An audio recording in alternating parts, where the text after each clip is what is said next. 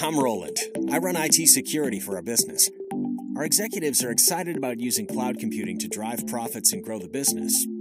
But I have my concerns, especially with securing cloud environments. Attacks are now more innovative than ever, from zero day exploits to ransomware to advanced persistent threats. And our security perimeter keeps moving as applications, infrastructures, and networks move to the cloud. It's like trying to hit a moving target. Security and protection need to be closer to the source, as fluid, agile, and adaptive as the people that use it.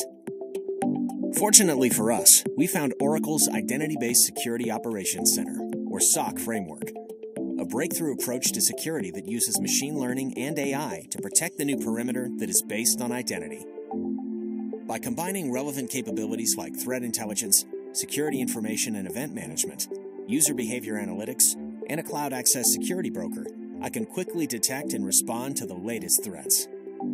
So for me, security is no longer a roadblock. In fact, I see it as a huge reason to move to the cloud.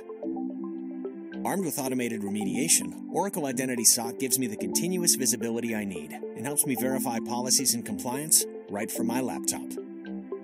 I also get the predictive analytics I want to discover threats and mitigate risks as they appear. I'm now a believer in the cloud, thanks to Oracle Identity SOC.